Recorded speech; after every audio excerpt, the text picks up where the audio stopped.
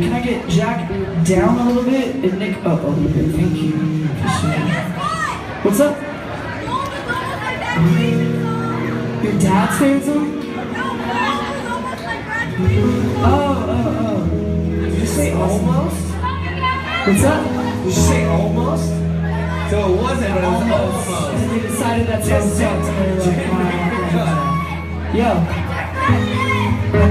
were always someone's birthday. Especially at a Sleeping with Sirens concert.